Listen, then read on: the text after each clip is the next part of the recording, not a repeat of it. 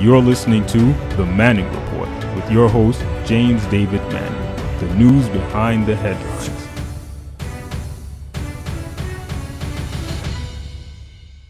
Before I go, I'd just like to leave some remarks to people like Trump and his entire family, whether it be Don Jr., Eric, or whether it be Ivanka or Jared, or whether it be Melania and that whole entire Trump crowd. I'd like to curse them with madness.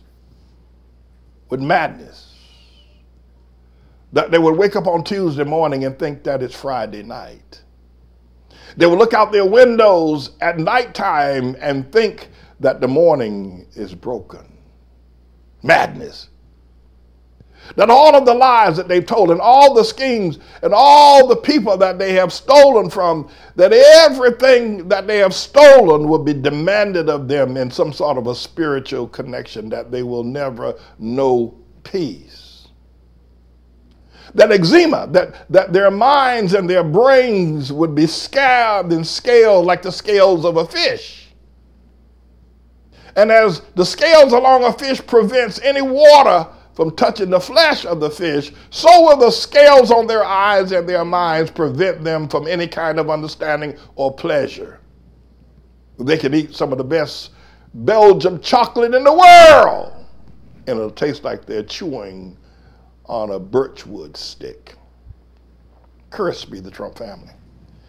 Curse be the Trump cabinet all of the persons, Steve Mnuchin types, all of the persons that now serve in the Trump cabinet as a part of his uh, denial of the Constitution to all of the uh, rest of the world as they have extracted that beautiful instrument and said it will not, it does not apply to anybody who's not a supporter of Trump. You can demand, ask for a subpoena. You can show the laws about taxes and about how they're to be turned over, but you'll get nothing. The Mueller can write a report, but you'll never see the truth of it. You'll never see the light of day. I curse all of the cabinet members, Mitch McConnell, Steve Mnuchin, and uh, Huckabee Sanders, Sarah Sanders, and Bill Barr, Kellyanne Conway, Vice President Pence, and a whole host that serve, anybody who serves as a cabinet member, anybody who serves in any way, would truly curse be thou in the city,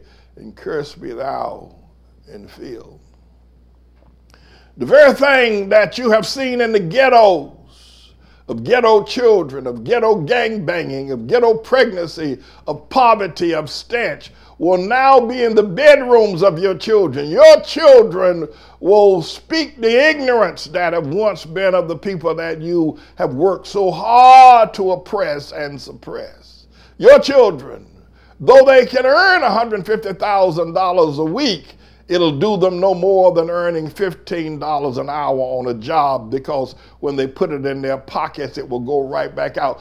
God will not let them prosper, nor will they understand prosper. Their homes will be uh, ovens in the summertime and there'll be icebergs in the wintertime. They'll know comfort. Their beds will be like rocks, bedrock from a quarry where the rocks have no porous whatsoever. And the sheets will be sheets of needles, like a porcupine's needles. When they pull the blanket and the covers over them, it'll be like pulling a porcupine skin over them as they on their beds. They're lying there in the midst of all their squalor and their misery pain, and only pain and suffering shall they all know, members of the Trump cabinet, those that serve him now and those that served him who even had enough wisdom to resign, but had enough greed to take the job in the first place.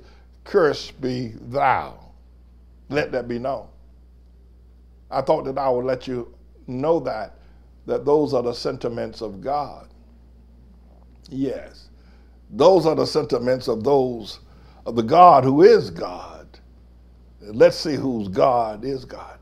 I take the position of Elijah. Oh, I realize I'm alone. I realize that nobody's with me. I understand that. I understand that Trump has all 850 prophets with him. I understand that because it's the Mount Carmel experience. I and I alone call for fire to come down from heaven upon Trump. But I tell you what's going to really be devastating. You want to devastate the Trump supporter? You really want to devastate them? Let them listen to the explanation of their own validation, using their own words against them, that God has used Trump the way he used Cyrus. And you'll never hear them say that ever again because it is an outright confession that they're fourth and fifth ranked. And now the brown skinned and black skinned people have power over them. Me. I'm James David Manning, everybody, and don't you ever forget it. You ever forget it. You ever forget it. I'm the Lord's servant. Don't you ever forget it. You ever forget it. I'm God's servant. I'm the Lord's servant. This is a bit of a news blog we do looking at spiritual wickedness in high places for the most part, making uh, some observations about it and giving people a biblical foundation to the way of interpreting rather than have uh, uh, Sean Hannity or Laura Ingraham or Jeanine Pirro or Anderson Cooper or Rachel Maddow or Don Lemon uh, Rush Limbaugh interpret what's going on in the world. You come to me and I'll tell you based on what the Word of God says. They'll just give you their worldly, sinful view. But the Manning Report will tell you what God has said, whether to say yea or nay, whether to go or to stay. You'll be led by the word of Almighty God. Come to the Manning Report on a daily basis to interpret the spiritual wickedness in high places because there's plenty of it that's going on. And so I am he.